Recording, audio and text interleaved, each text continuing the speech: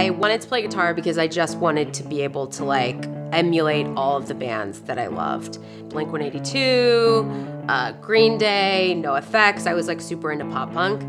Guitar playing is still just sort of this like kid like teenage thing. When I think of guitar strings, I only think of Ernie Ball. Like when I got my first guitar, like my dad strung it for me, put the Ernie Ball strings on it. To this day, I still only know how to play power chords, which is really funny because I'm 12 years into my career as a professional musician. I have met many people, especially women, out on the road and at shows and stuff that have told me like you're the reason I started playing the guitar. If I'm the person that inspired them to pick up the guitar and figure it out, then like that's awesome.